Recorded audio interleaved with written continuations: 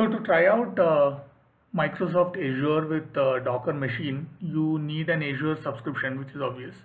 Uh, the uh, Azure subscription has a free trial, which gives you $200 of credit. That is approximately 12,000 rupees in credit, which is fairly uh, sufficient, uh, you know, to launch whatever you need on the Azure cloud.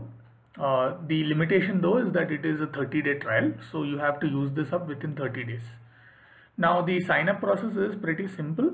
Uh, the only limitation is that, uh, you know, apart from having uh, a Microsoft account, let me just quickly sign in over here. So apart from having a free Microsoft account, you also need uh, a credit card with an address in the US. Uh, now I was actually able to use my Indian credit card uh, and just provide some uh, fake US address. Actually, that worked for me. Now, that is one of the really irritating limitations of this uh, sign up process. If you do have a US uh, US uh, uh, address credit card, then great, you can sign up for it. Obviously, now since I have already signed up for this trial, this is giving me an error. But uh, that's basically what I wanted to show you. Now that you have created your free Microsoft Azure account, the next step is to get the Azure subscription ID, which is basically a unique identifier for your uh, subscription. And this is required for all Docker machine commands. So let's find out how to get the uh, Azure subscription ID. You need to go to your uh, Azure console. This is the Azure dashboard, basically portal.azure.com. And this is assuming you have already signed in. Once you sign in, you need to go to the security center. No, I'm sorry, the billing uh, center which shows your subscription ID. Let's expand this out and you know you can kind of copy this like that and you know paste it to your screen. So that is the next step that you need. Now with the uh, Azure subscription ID, let us open the Docker Quick Start terminal and let's type the command docker machine create. Uh, if you remember we uh, use the AWS driver uh, which is called Amazon EC2 uh, for creating uh, EC2 accounts or EC2 uh, boxes. Similarly we use the Azure driver in order to create Docker machines in the Azure cloud each of these drivers has unique uh, parameters or switches. Uh, so Azure uh, switches start with the Azure uh, prefix. So Azure subscription ID. Paste your subscription ID over here. Machine name Azure 0. Okay.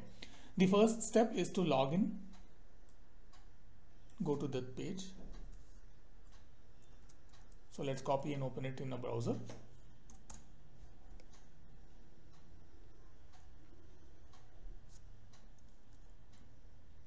The code that you need to enter is over here. Let's copy that, paste it over here. Okay, so now we are authorizing Docker machine for Azure to create a Docker machine.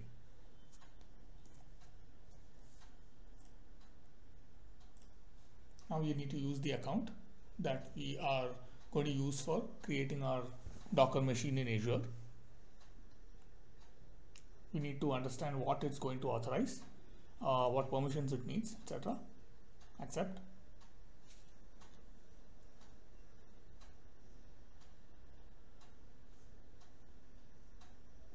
That is all. So once the uh, auth permission comes back, Azure uh, and Docker will basically start to communicate and try to create the machine called Azure 01, which is the name we have given.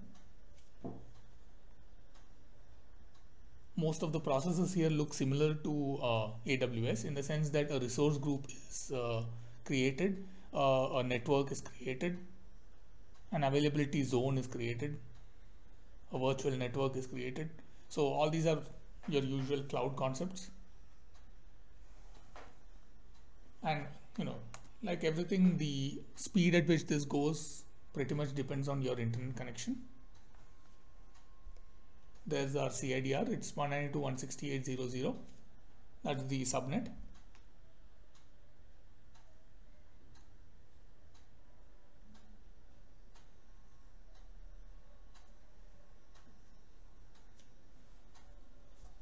Let's go and take a look at the dashboard.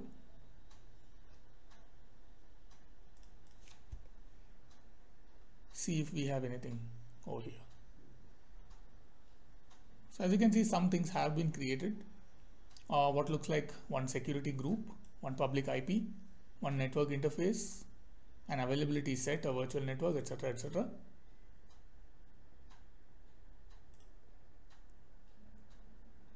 Let's go back to terminal.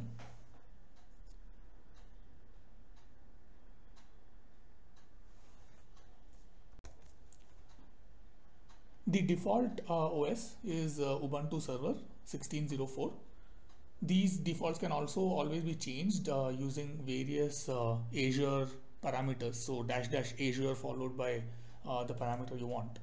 Uh, the, all the parameters are available in the Azure documentation for Docker. So that is docs.docker.com slash machine slash drivers slash Azure. So here you can set all the different parameters which were chosen as default. Now, while this machine is being created in the uh, command line, like all this is the output from Azure.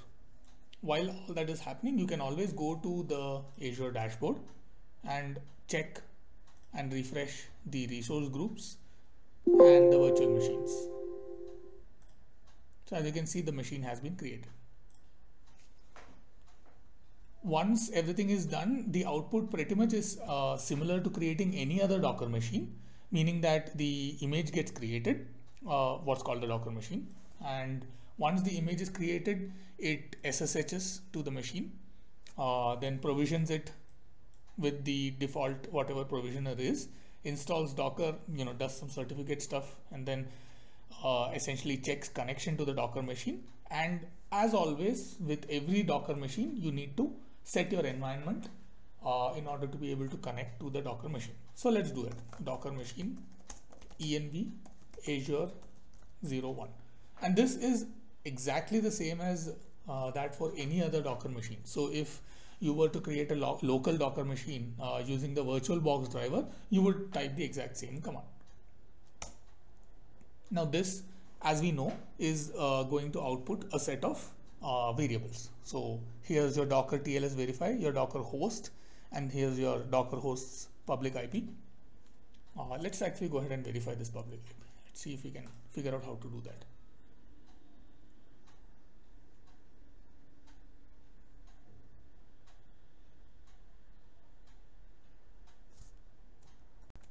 So here's the configuration page for uh, your Azure virtual machine uh, in the Azure portal. In order to get the IP address, we go to network interfaces. And here's your public IP address in case you cannot see it. 1388.181.8. And that's the same as this. Uh, and then, uh, you know, these are the other variables that get set and as always uh, in order to you know configure our environment our shells environment uh, in order to connect to that docker machine we would do eval dollar docker machine env machine name.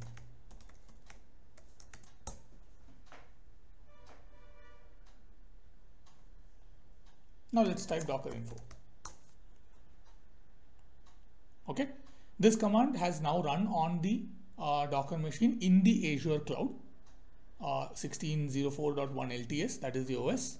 Uh, that virtual machine has been configured, looks like it has been configured with about 4 GB of RAM. That's the machine name and various other information. So one of the questions uh, that's frequently asked is, uh, what are the default uh, firewall requirements or firewall uh, settings uh, in the created virtual machine. So let's go ahead and explore that.